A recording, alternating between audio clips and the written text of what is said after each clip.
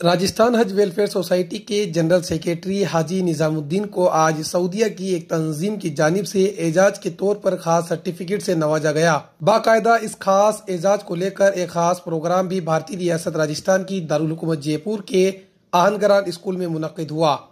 इस प्रोग्राम में सामाजिक दूरी का खास ख्याल रखा गया और महज चंद लोगों की मौजूदगी में ये एजाज उन्हें दिया गया।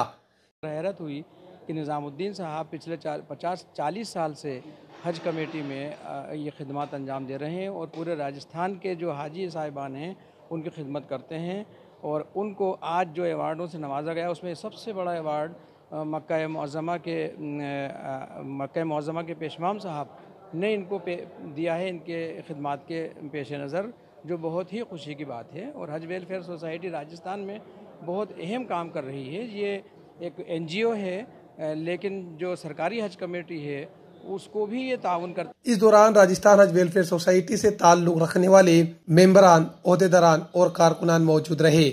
जयपुर से ईटीवी भारत के लिए मोहम्मद रजाउल्लाह की रिपोर्ट।